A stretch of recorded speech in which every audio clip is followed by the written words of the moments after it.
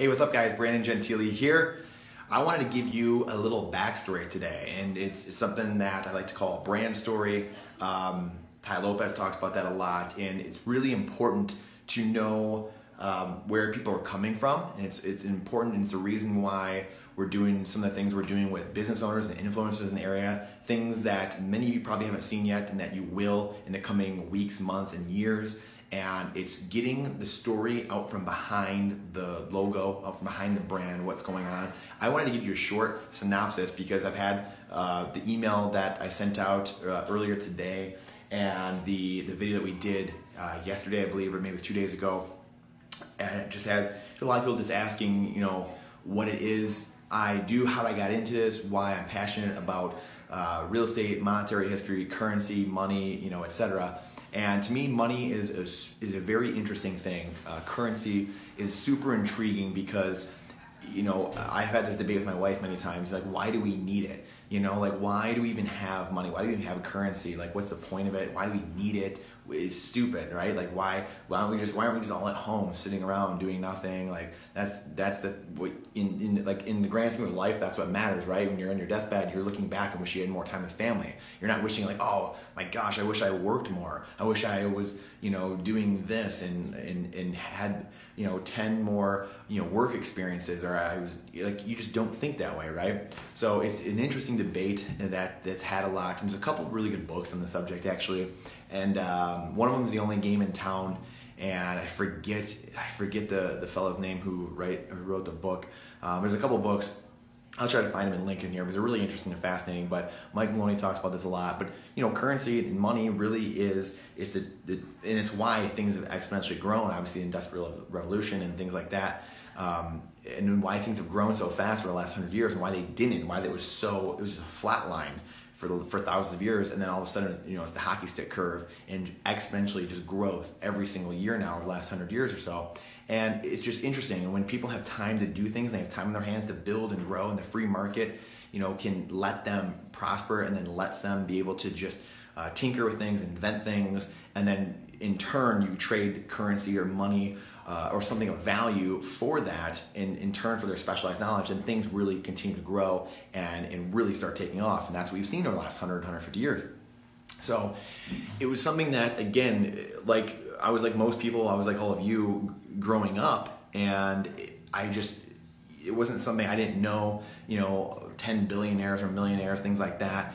I I just had a fascination with money, and really, I think it was more of a security thing, and just really wanting to know. And I got that from my my father was just very uh, research, research, research. You know, find out what's going on, and I got that from him. So I always like researching things and finding out what what these things mean and what that means, and it became um, an interest. Really, in college was one of the the first times and not the first time I should say, it was the biggest time. It was the life changing moment when I I just saw the stock market going down. You know, I'm, I'm a senior at Michigan State. I have the stock market just going through the floor, going from some 14,000 and change down to 6,000 and change, and and just collapsing, and, and you know, 50% just gone overnight.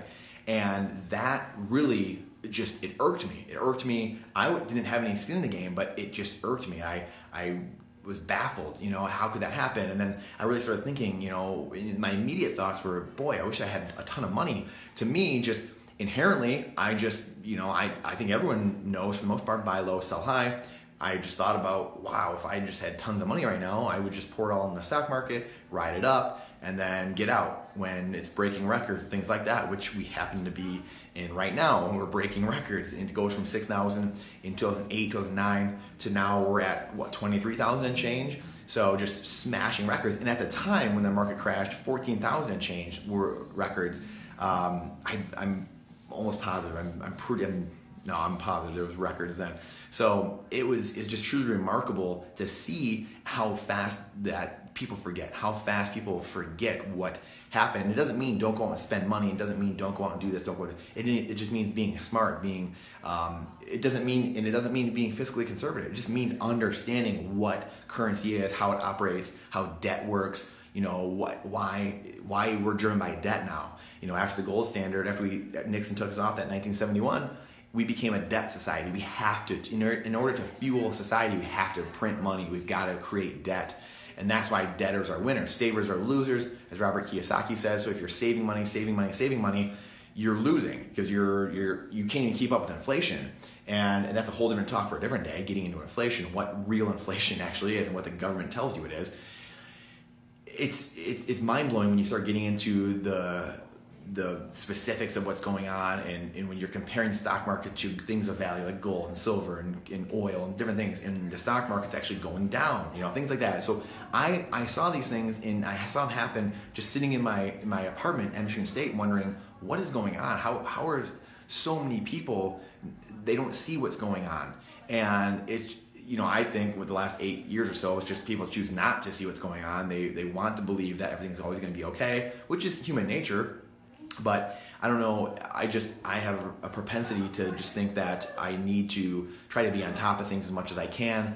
And so really, what happened is is that launched me 2008 2009 that launched me into just the exploration of currency money and i'm a history buff i'm a huge history buff military buff etc so i love that stuff anyway. So it really fascinated me just digging into monetary policy monetary history financial history and just seeing what was going on. You know reading the creature from jekyll island things like that. Why was the federal reserve created? What is a federal reserve?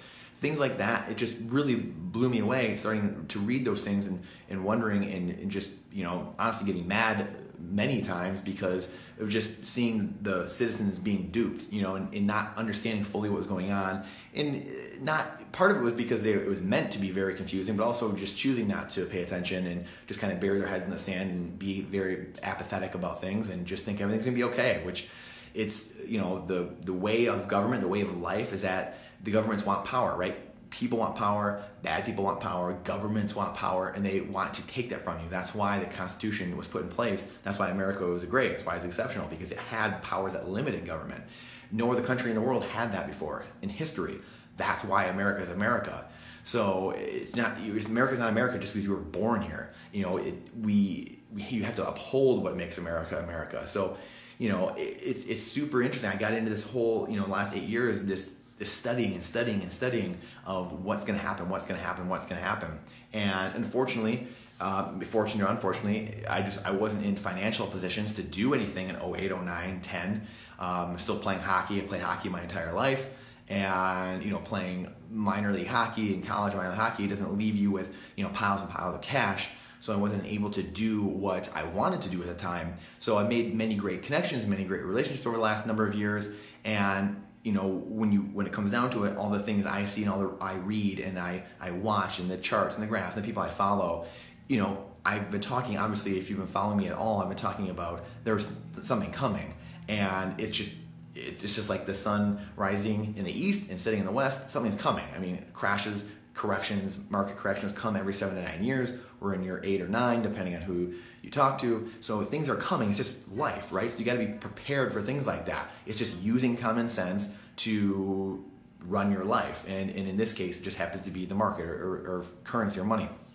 So I got into you know the Robert Kiyosaki's of the world, and that was a book that changed my life. Was Why We Want You to Be Rich by uh, Donald Trump, actually, believe it or not, ironically, and Robert Kiyosaki. I knew who Donald Trump was, but I had no idea who Robert Kiyosaki was and I I picked that book up. I was in a grocery store of all things, but I loved to read and I loved real estate and I loved all these things. And it was probably about 2010, 2011, and that book changed my life. It just it put all the things into perspective that I had wondered about for years and never knew what they meant. You know, like putting your money to work for you, leveraging yourself, creating assets. Your assets buy your liabilities, etc. And it's you know very similar to Rich Dad Poor Dad, obviously, which was uh, Robert Kiyosaki's big book uh, and what really launched him into, into his uh, stardom, but uh, at least publicly. Um, but he was already very wealthy just because of the principles that he engaged in, the principles he followed and lived through, what his rich dad taught him, which were things like your assets pay for your liabilities.